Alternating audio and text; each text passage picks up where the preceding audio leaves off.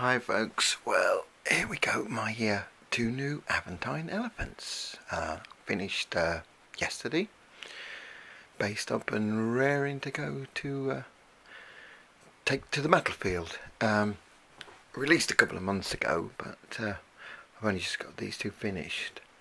Um, and I must say, very, very nice elephants.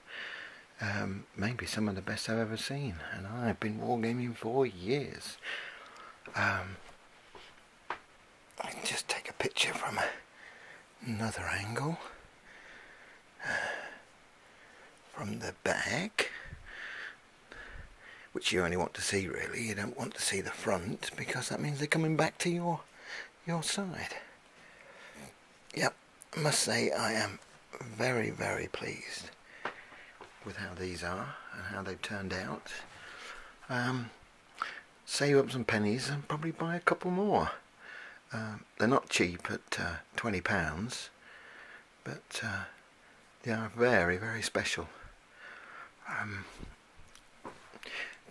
tuned into uh, Aventine uh, probably six, eight months ago. Never, never really noticed them before.